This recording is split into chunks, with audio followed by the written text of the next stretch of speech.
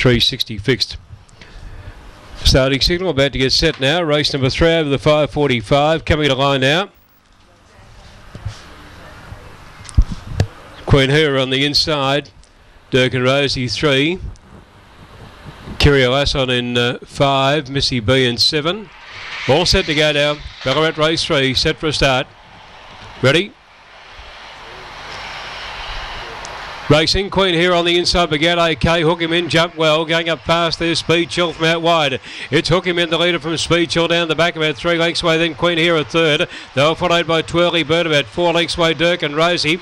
Next out deep then came Billy Beergarden. Second last off the back straight is Busy Bee. And uh, well back in the race there would have been Kira Lasson up to the turn though. And it took him in the leader about four or five lengths out in front over Speed Chill. Coming down the outside is Billy Beergarden starting to run on very well. Hook him in the leader. Billy Beergarden getting through.